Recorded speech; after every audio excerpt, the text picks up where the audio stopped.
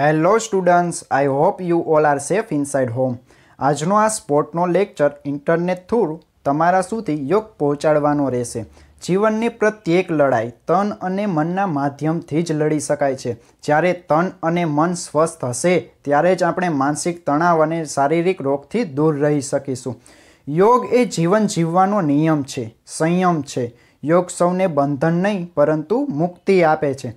તેથી યોગ કરો, સ્વસ્થ રહો, ખુશ રહો. ઘર પર યોગ, પરિવાર કે સાથ યોગ. Yoga is the journey of self. આજ મારે તમને વાત કરવી છે સૂર્ય નમસ્કારની. સૂર્ય નમસ્કાર એ વર્ષો જૂની યોગ પદ્ધતિ માનવામાં આવે છે. તેથી જ કહી શકાય કે સૂર્ય નમસ્કારનો અભ્યાસ રાજાઓ અને મહારાજાઓ પણ પોતાનું બળ અને બુદ્ધિ વધારવા કરતા જ હશે. તમે જાણો જ છો કે આપણે કોઈ પણ ગેમ્સ રમીએ, તેમાં આપણે બળ અને બુદ્ધિનો ઉપયોગ કરવો જ પડે છે. બળ એટલે તમારી તાકાત. તો તમારી ફિઝિકલ સ્ટ્રેન્થમાં વધારો થાય, તે માટે આપણે ઘરે જ રહી અને સૂર્ય નમસ્કારનો અભ્યાસ કરવાનો રહેશે.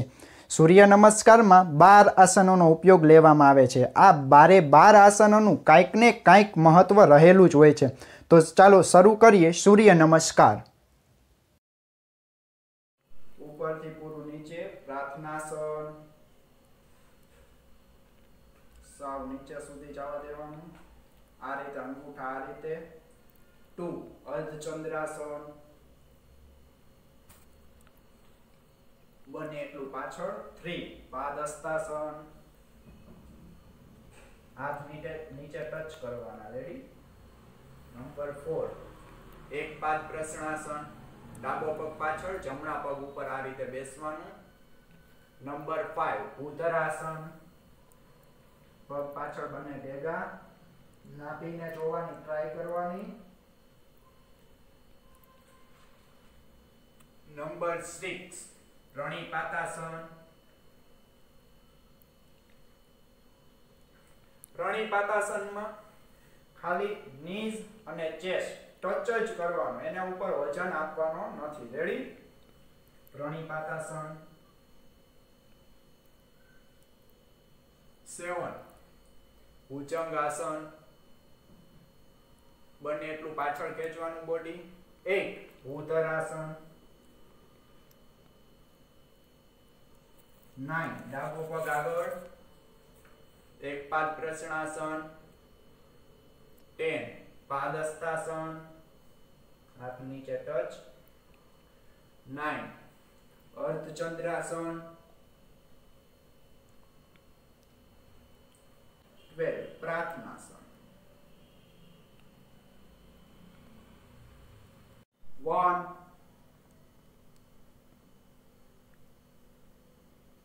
two three four, five, six, seven, eight, nine,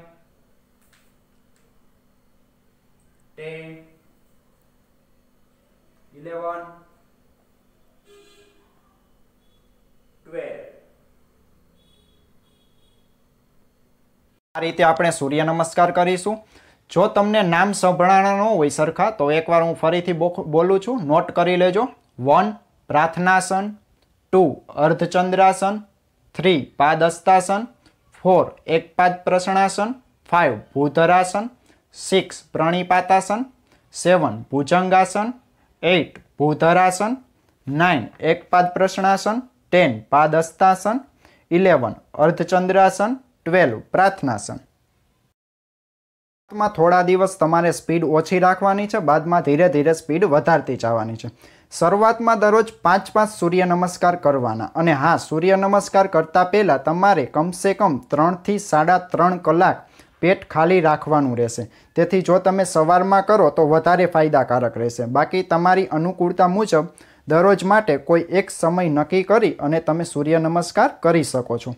તમારે પહેલા અઠવાડિયામાં માત્ર પાંચ જ સૂર્ય નમસ્કાર કરવા અને કોઈ એક દિવસ તમારે સંપૂર્ણ આરામ કરવાનો રહેશે.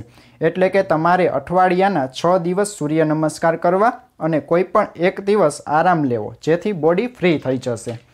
આરામ માટે કોઈ પણ દિવસ રવિવારનો કે અઠવાડિયાનો કોઈ પણ એક ફિક્સ દિવસ રાખી શકો છો.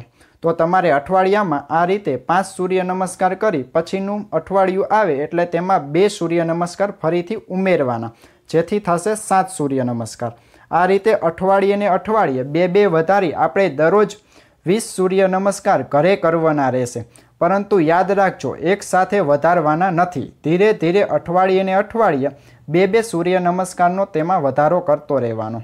આ રીતે ધીરે ધીરે વીસ સુધી પહોંચવાનું છે. વીસ સુધી આવો, એટલે તમારે પછી દરરોજ વીસ કરવાના રહેશે. જ્યાં સુધી આપણે સ્કૂલે ન મળીએ, ત્યાં સુધી.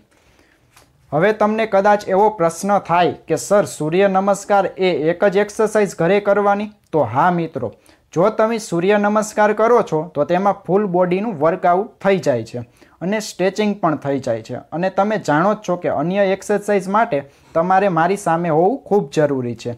તેથી સૂર્ય નમસ્કાર કરી તમે તમારા બોડીને ઘરે જ રહી ફિટ રાખી શકો છો. હું આશા રાખું છું સૂર્ય નમસ્કાર લેવાનું મારું મુખ્ય કારણ એકવીસ જૂન છે. તમે યાદ કરો, મેં તમારી સાથે ઘણા વિશ્વ સ્તરે ઉજવવામાં આવતા દિવસોની વાત કરેલી. જેમ કે થોડા દિવસો પહેલાં વર્લ્ડ એથ્લેટ દિવસ ગયો હમણાં ને હમણાં જ વર્લ્ડ કરાટે દિવસ ગયો.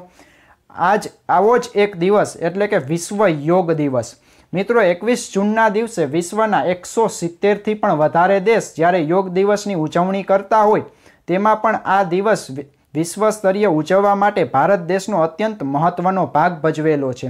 તેથી જ તો એકવીસ જૂન બે હજાર પંદરના વર્ષથી દર વર્ષે આ દિવસની ઉજવણી કરવામાં આવે છે. પરંતુ આ વર્ષે ઘરમાં જ રહી પોતાના પરિવાર સાથે આવડતા યોગ કરી અને સૂર્ય નમસ્કાર કરી આ દિવસની ઉજવણી જરૂરથી કરીશું. આપનો આભાર છે હું કરણ સકપરિયા ફ્રોમ સત્યપ્રકાશ સ્કૂલ રાજકોટ જય હિન્દ, જય ભારત.